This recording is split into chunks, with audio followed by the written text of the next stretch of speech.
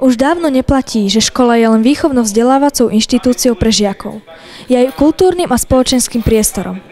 Našou snahou je rodičom a verejnosti prezentovať možnosti, ktoré majú k dispozícii, aby sa ich deti nestali závislými alebo obeťou či agresorom, na koho sa môžu v prípade potreby obrátiť, prípadne ako môžu odhaliť závislosť svojho dieťaťa.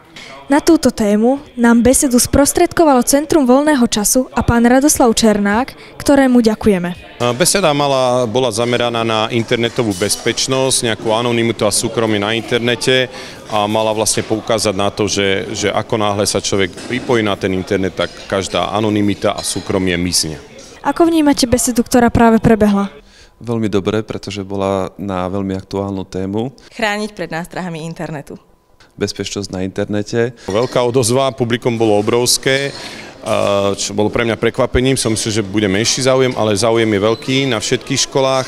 Uh, áno, áno, decka sa zaujímali, mali otázky. Uh, myslím, že pri tých konkrétnych prípadoch, keď som uvádzal, tak sa tam niektorí aj našli, čo je veľmi dobré. Máte vy nejakú osobnú príhodu s týmito nebezpečenstvami?